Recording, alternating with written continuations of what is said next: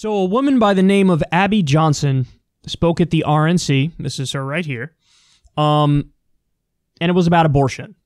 Now, she used to be a worker at Planned Parenthood. And she says, Hey, I changed my mind because of what I saw when I was there. Now, I want to play for you part of the speech here, and I'm going to come back and tell you some falsehoods, some inconsistencies, and we'll talk about just the bigger picture as to why this is a main focus. The last thing I saw was a spine twirling around in the mother's womb before succumbing to the force of the suction. On October 6th, I left the clinic, looking back only to remember why I now advocate so passionately for life. I founded and currently run And Then There Were None, a nonprofit organization that's helped nearly 600 abortion workers transition out of the industry. For most people who consider themselves pro life, abortion is abstract. They can't even conceive of the barbarity. They don't know about the products of conception room and abortion clinics where infant corpses are pieced back together to ensure nothing remains in the mother's wombs, or that we joked and called it the pieces of children room. You see, for me, abortion is real. I know what it sounds like. I, I know what abortion smells like. Did you know abortion even had a smell? I've been the perpetrator to these babies, to these women. And I now support President Trump because he has done more for the unborn than any other president. During his first month in office, he banned federal funds for global health groups that promote abortion. That same year, he overturned an Obama Biden rule that allowed government subsidy of abortion. He appointed a record number of pro life judges, including two Supreme Court justices. And importantly, he announced a new rule protecting the rights of healthcare workers objecting to abortion, many of whom I work with every day. So she was trending on Twitter because of a lot of the things she said. Now, some media outlets were like, "Wow, this is this is quite a story." So they did some digging and fact finding and apparently according to medical records so she tells a story of like oh i saw this abortion it was at 13 weeks and it was terrible and she gives these gruesome details and according to the medical records it was actually she so she she's totally wrong about how old the fetus was. Apparently, it was younger than 10 weeks, and she keeps saying it was 13 weeks. Now, you might say, hey, that's a, that's a minor difference. Not really. Not really. There's actually quite a big difference in terms of what developmental stage the fetus is at.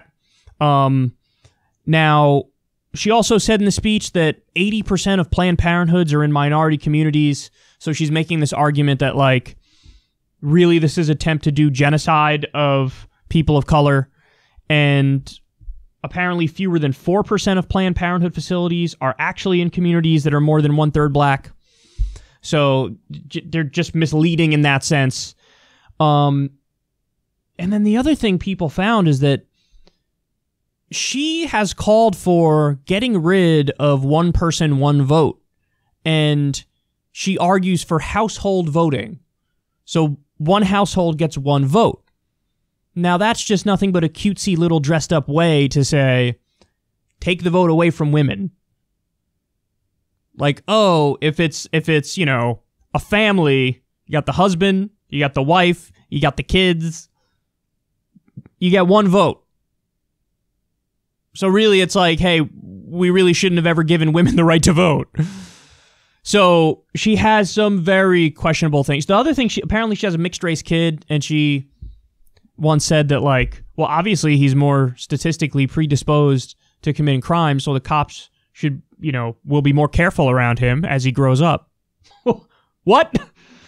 So I, here's what I think is going on. Now, this is just speculation, but my guess is, guys, it's one of those things where she already had this very evangelical fundamentalist Christian belief system and she went into a job at a Planned Parenthood looking to do this whole heel turn at some point and be like, oh, I used to be pro abortion and now I'm anti abortion. Believe me, I was there. I saw how gruesome it is. I saw how terrible it is.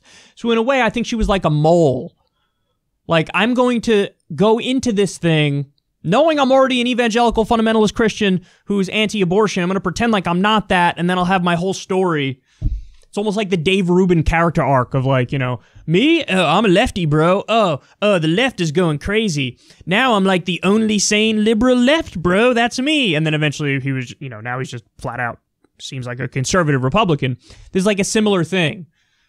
Like she was going through the motions. I am a Planned Parenthood worker and I am a pro choice lefty. Oh, let me. Oh, oh, this looks so gruesome. Oh, now I must leave and tell everybody my story and act like I had a change of heart. That's what I think is going on. Is it possible that that's not the case and that she was, you know, just a pro choice lefty and changed her mind? I guess. But why all the inaccuracies in her speech? Why the incredibly fringe political views? It strikes me, uh, you know, a little too convenient that it all came together like that. And I don't believe a lot of what she says. Now, the real reason I'm talking about this is because, guys, I'm so sick of it. You cannot concern troll me about life. Life is so precious. We love life. Yes. You can't do that.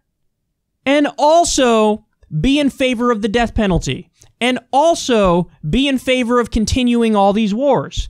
And also be against Medicare for all. You can't do it. You can't feign concern about life and then say, I'm cool with the healthcare system that kills 45,000 to 60,000 Americans every single year because they don't have basic health care. So here's my point I'll care about your position on this when you show me you care about more than just fetuses. If you actually care about life, the first thing on the list would be ending the death penalty and ending wars. And then also Medicare for all. Because the fact that we don't have a single payer system is literally killing people. So you can't, I just can't take them seriously because they're on the wrong side of all those issues and then they turn around and act like they care so deeply about the lives of fetuses. It's just too ridiculous.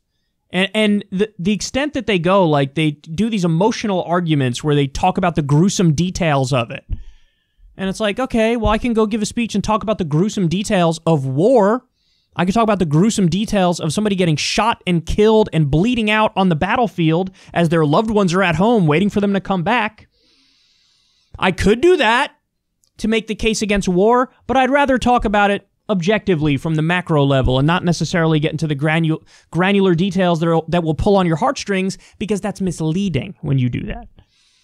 So, you know, it's it's just so ridiculous. These people pretend I care so much about the babies. Yes, the babies.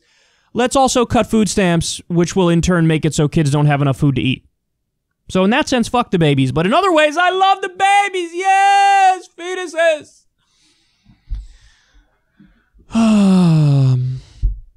Guys, we're in the middle of a pandemic and a depression. And this was one of the things highlighted at the GOP convention. Highlighted. Highlighted. They were like, let's do the thing where we whine about abortion endlessly. As there's a pandemic and a depression, uh, you know, I think your finger's not quite on the pulse.